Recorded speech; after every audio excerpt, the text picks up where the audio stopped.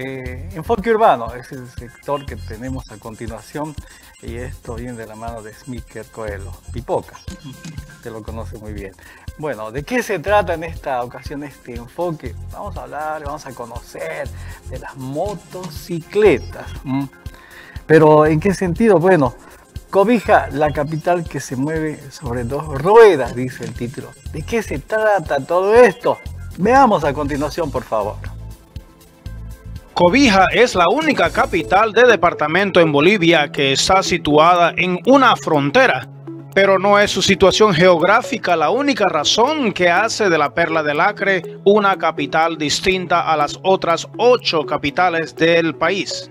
Basta una vista panorámica en el centro urbano de la ciudad para notar que el mayor porcentaje de su flota de vehículos motorizados que circulan por sus calles son vehículos de dos ruedas son motocicletas, lo que hace de Cobija la capital de las motos. Desde el uso personal hasta el transporte público, las motocicletas representan el 90% del parque automotor legalmente registrado por el gobierno municipal de Cobija. Tenemos registrados 45.590 vehículos. De estos 45.590 vehículos, 40.791 son vehículos de dos ruedas. O sea, estamos hablando de un 87.47% que son motocicletas, vehículos de dos ruedas. Eh, hemos sacado unos datos también de la gestión 2021, de los registros. De vehículos son de 1878, que estamos hablando del 100%, pero de esos 1878, 1819 son motocicletas registradas el año pasado. Estamos hablando de un 96% del total eso del año pasado que son vehículos registrados son motocicletas. Vamos, vemos de que el mayor parque automotor de Cobija es motocicleta. Pese a la situación de pandemia, y el receso económico que generó la emergencia sanitaria, en 2021 se internaron a la capital pandina un total de 3.255 motocicletas, de acuerdo a información oficial proporcionada por el director de la zona franca de Cobija, la institución a través de la cual deben internarse estos vehículos. En una relación aritmética, en 2021 se internaron 1.377 motocicletas por encima del número de registros formalizados en ingresos municipales. Es decir, aproximadamente el 42% de las motos internadas no realizan su registro formal del vehículo en la alcaldía y la policía. Además, un dato importante que proporciona el director de ingresos municipales es que de cada mil trámites de registros iniciados en esa dirección, solo entre el 30 y 40% concluyen el trámite y los demás desisten del proceso de registro formal de su vehículo. Esta situación origina una enorme cantidad de vehículos indocumentados en la ciudad, un problema que la Dirección Departamental de Tránsito trata de corregir, pero que en la mayoría de las ocasiones termina con una saturación de sus áreas de estacionamiento y patios en sus dependencias. Tenemos alrededor de 397, casi 400 motocicletas que se encuentran en, predios de, la dirección departamental y en el comando departamental de policías. Eh, bueno, hay diferentes circunstancias por qué, eh, estas motocicletas se encuentran en estos predios. ¿no? Primero, eh, hay una gran cantidad de motocicletas que han cometido este, accidentes de tránsito.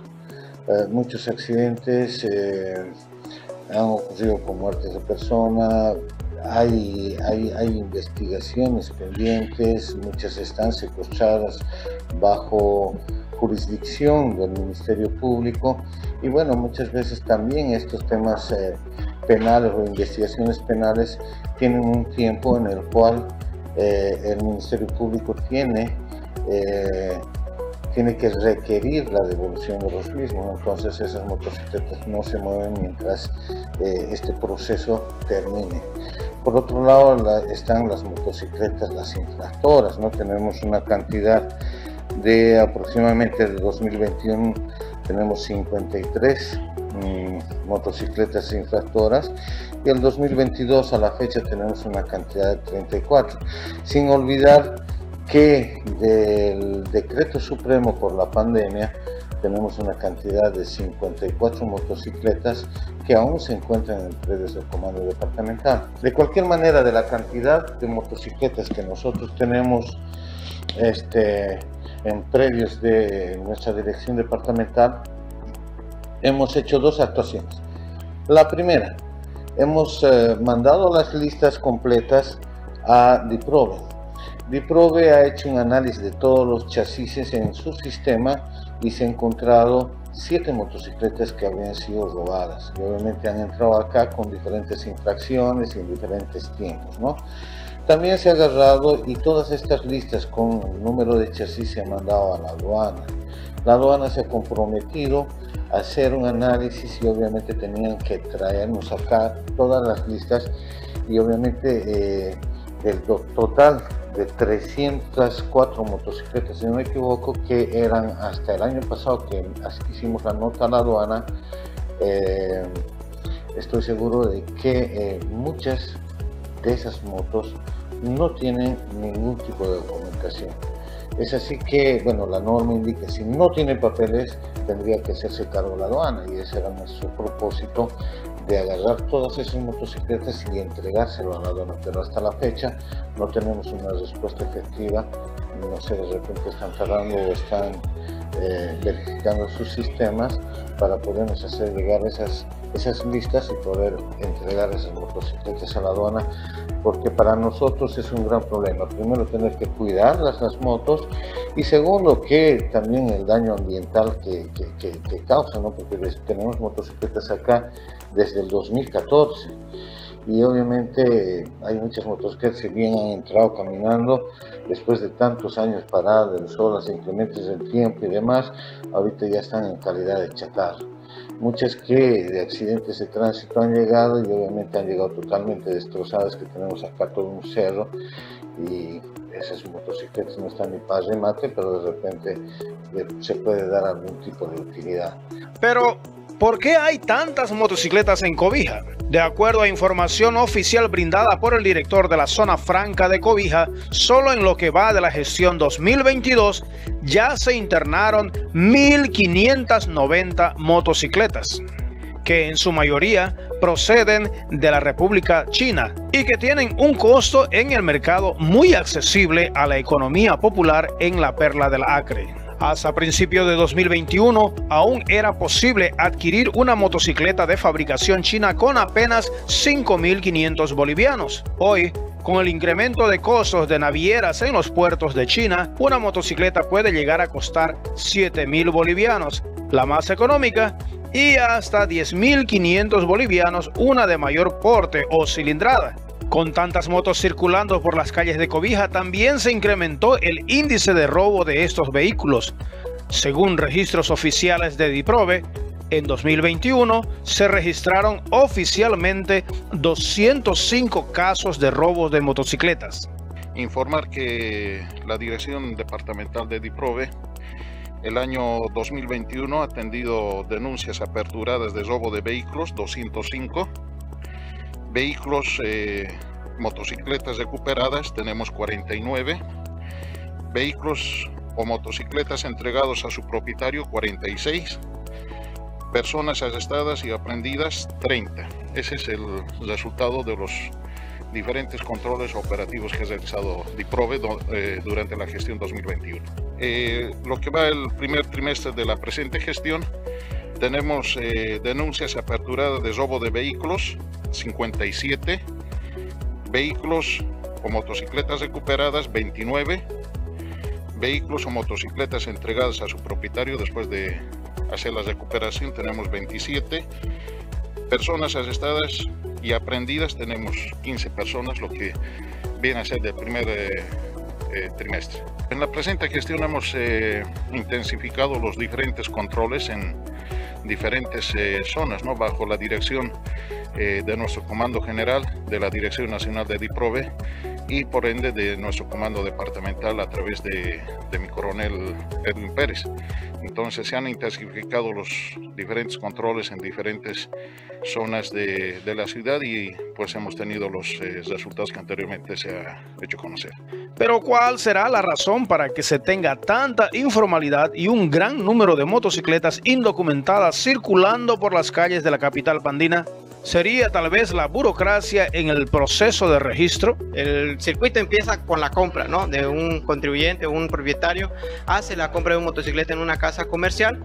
Posteriormente, la casa com comercial le entrega los documentos principales de lo que es un vehículo, que sería la póliza, la factura, el contrato de compra y venta, que son documentos personales individuales de cada motocicleta. Posterior a eso tiene que apersonarse a la Dirección de Ingresos Municipales, a la unidad de vehículos, para que nosotros podamos hacerle la asignación de la placa y cobrarle el costo de inscripción correspondiente. Para eso tiene que presentar la documentación en copia de que le entrega a la casa comercial, que en este caso sería la póliza, factura, contrato de compra y venta, fotocopia de su carnet de identidad visible, todo eso dentro de un foldercito amarillo y pasa por acá, nosotros le asignamos el número de placa y se le hace el cobro de 273 bolivianos, que es el costo de inscripción. Posteriormente a eso, nosotros lo registramos dentro de nuestro sistema y se le hace la continuación, le damos los dos documentos que serían los dos, las dos hojas de Cardex, que con el cual puede continuar su trámite dentro de la dirección de DIPROVE y la dirección de tránsito. Un paso número dos tendría que pasarse por la dirección de recaudaciones de la Policía Boliviana en la dirección de tránsito. Dentro de esa dirección tienen que hacer la obtención que es la compra de la valorada para la inscripción de un vehículo. Dentro de eso le van a dar el número de cuenta y los costos y los montos que tiene que hacer el depósito en el Banco Unión. Uno que es el de 200 bolivianos, que es para la resolución de inscripción, y el otro que es para el informe técnico de DIPROE, que es el de 70 bolivianos. Bueno, el depósito tiene que pasar de nuevamente a la dirección de recaudaciones y hacer el intercambio del depósito con las valoradas. Una vez obtenido las valoradas, el paso 3 tendría que ser la dirección de DIPROE para que puedan hacer el informe técnico. Llevan la misma documentación que traen a ingresos municipales, nuevamente la póliza factura, contrato de venta, su carnet de identidad, todo eso en un foldercito. Ahí en la dirección de DIPROE van a hacer el informe técnico de DIPROE, este, van a hacer una evaluación y una inspección técnica ocular del vehículo, sacando las calcas correspondientes del motor y del chasis. Posteriormente, cuando tengan su, su informe técnico como paso 4, tendrían que ir a comprar el SOAT de seguridad, el seguro de seguridad, que es el SOAT que se adquiere en, en la entidad de Univida donde se hace la cancelación de 202 bolivianos para un vehículo particular, para una motocicleta particular. Con como el paso 5, una vez obtenido tanto el registro del municipio, el informe técnico de DIPRO y el SOAT correspondiente de, de Univida, pasan como uno, el paso el paso 5 sería a la dirección de tránsito, donde la dirección de tránsito hace el registro del, del vehículo haciendo una inspección previo a, toda la documentación, tanto de la alcaldía, de DIPROVE y del, del Seguro Univida, para posteriormente registrarle ya, y emitirle en la resolución de inscripción, que es el documento con que un propietario ya es definitivamente propietario legalmente.